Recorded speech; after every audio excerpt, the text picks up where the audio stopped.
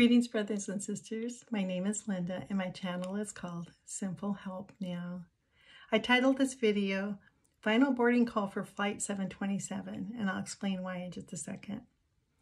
I want to share with you a timely but simple word. I received it a couple of days ago, but I waited until the Lord confirmed it. Before I share, I want to say that Jesus is my Lord and Savior.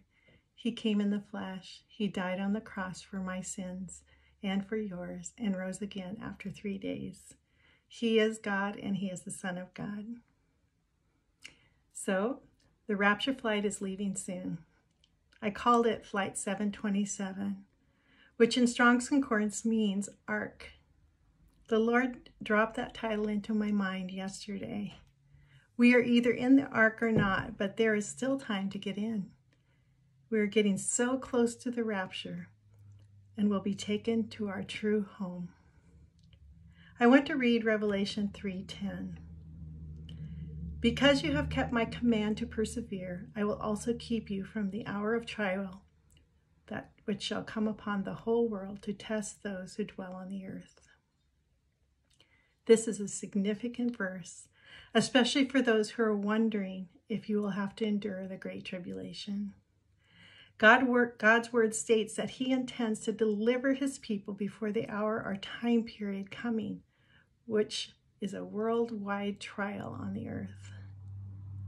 I want to share what the Lord has put into my heart a couple of days ago, and feel free to test all the words that the Lord has given us. It's very important to do so. And here's what I felt he said.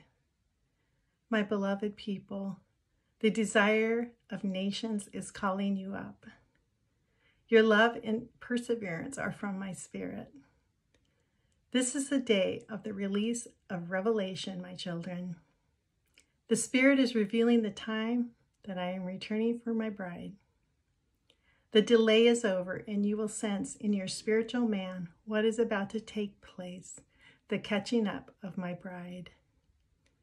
The spiritual net is full, and yet there is room, and you can still get in. My chosen ones, the joy and relief you will feel will be intensely glorious. Pray for your loved ones. There will be a revelation released right at the moment. I am calling you to your true home where you will feel finally the fulfillment of all you have longed for.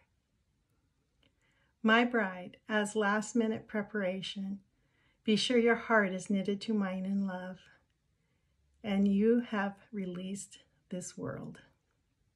I am coming. No more delay. That's what I felt he said. So make sure your heart is in love with Jesus. Release the world and let go. Really let go. Pray for your loved ones and keep watch. I wasn't given a date, nor am I giving a date, but it sounds like it will be very soon. I am so excited to see Jesus and to meet all of you. See you in the clouds.